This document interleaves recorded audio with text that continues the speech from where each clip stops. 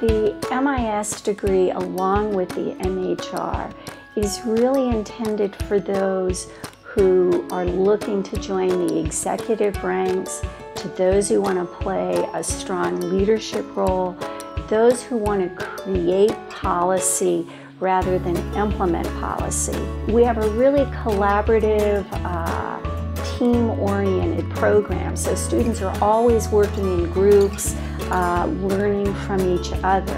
And the MHR students bring their softer skills to the MMIS students, and the MMIS graduate students can then bring some of those technical skills and share them with the MHR. That's where our program provides value add for students.